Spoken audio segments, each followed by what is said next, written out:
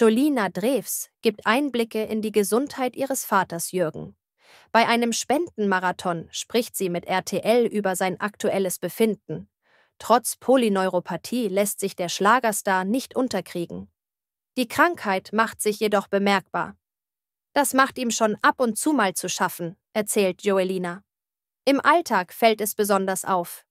Nach einer halben Stunde läuft er ein klein bisschen nach vorne gebeugt. Nach seinem Karriereende 2023 überraschte Jürgen die Fans mit einem Auftritt an ihrer Seite. Für Joelina ging damit ein großer Traum in Erfüllung. Der Auftritt war nur möglich, weil die Erkrankung langsam voranschreitet. Polyneuropathie befällt das Nervensystem und schreitet langsam schleichend voran, erklärt die Sängerin. Damit ihr Vater möglichst uneingeschränkt leben kann, sind Gleichgewichtsübungen wichtig. Jürgen achtet auf seine Gesundheit und konzentriert sich nun auf die Familie.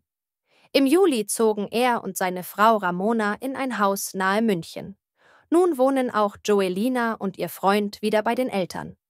Wir sind uns alle so nah und lieben es, Zeit miteinander zu verbringen, betont sie gegenüber RTL.